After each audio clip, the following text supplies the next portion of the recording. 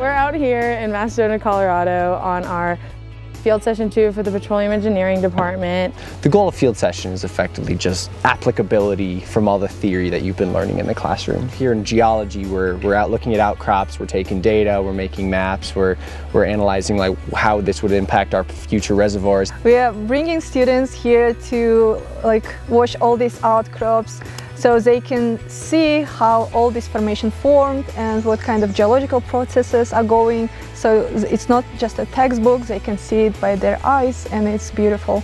And a lot of other schools kind of focus more on the theory and Mines is all about practice. Like we're teaching you this theory because you need to know it so you can apply it directly in your field.